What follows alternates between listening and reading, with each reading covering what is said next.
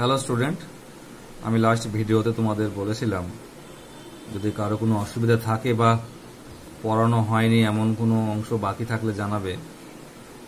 তো তোমরা মনে হয় কেউ জানাও নেই যাই হোক, আমি ধরে নিচ্ছি তোমরা সব বুঝেছ, আর আমার সিলেবাস শেষ। আমি আবার প্রথম থেকে আসছি।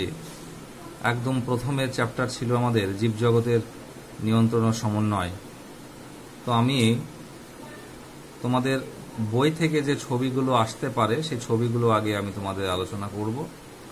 তারপরে আমরা শর্ট কোয়েশ্চেন তারপরে ব্রড কোয়েশ্চেন এইভাবে যাব। যাই হোক, তোমাদের পরের দিনের একটি হোমওয়ার্ক থাকবে। তোমরা যদি দেখে থাকো বা ই করে থাকো, শুনে থাকো আমার কথা, তাহলে তোমরা বাড়ির কাজটি করবে। তোমাদের পরের দিনের বাড়ির কাজটি হবে একটি নিউরনের সুন্দর ছবি এঁকে। তোমরা অ্যাক্টিভিটি টাক্সে অনেকে এঁকেছো। তো আমি বলব, একটি নিউরনের ছবি তোমরা বাড়িতে ভালো করে প্র্যাকটিস করে না দেখে আঁকবে।